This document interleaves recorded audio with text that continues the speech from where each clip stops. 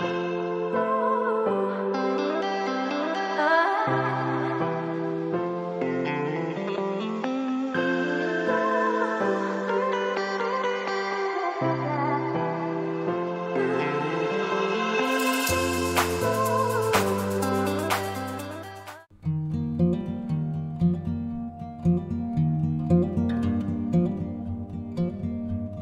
una tarde de verano fui a recorrer el circuito Villeneuve, lugar donde corrió el Checo Pérez. Les hablaré un poco de historia de este circuito. El circuito Villeneuve, también llamado Circuito de Montreal, es un circuito urbano de carreras con 4.361 metros de largo, localizado en la isla de Notre Dame una isla artificial situada en el río San Lorenzo y que es parte del Parque Jean Drapeau de la ciudad de Montreal, provincia de Quebec, Canadá. El circuito originalmente tenía la denominación Circuit Île Notre Dame.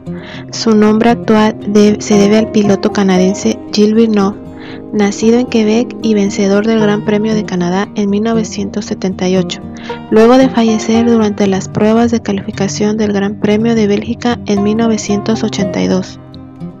El circuito ha sido utilizado para el Gran Premio de Canadá de Fórmula 1 desde el año 1978, con dos ausencias en 1987 y 2009, y la Indy Montreal de la Car Champ Car desde 2002 hasta 2006.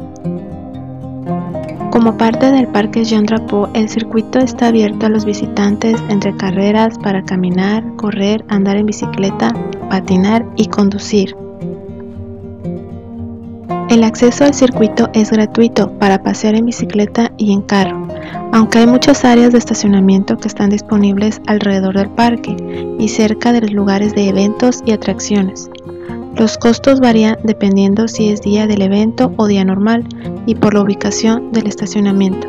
Estos van desde una hora 8 dólares, 2 horas 14 dólares o todo el día de 20 dólares. Es una buena opción para disfrutar el día en familia y amigos.